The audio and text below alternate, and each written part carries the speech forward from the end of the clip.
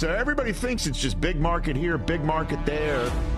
But the Padres are raising their hand and saying, we are players here, and this is the latest shot across the bow.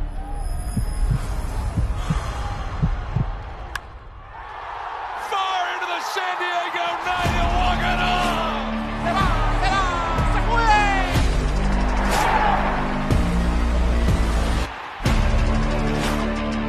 When you start to look at this team, they look like the best team in the National League.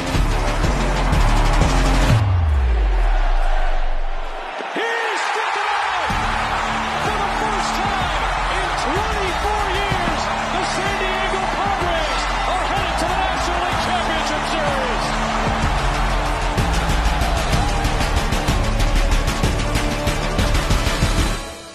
Series! It's our house right here, baby.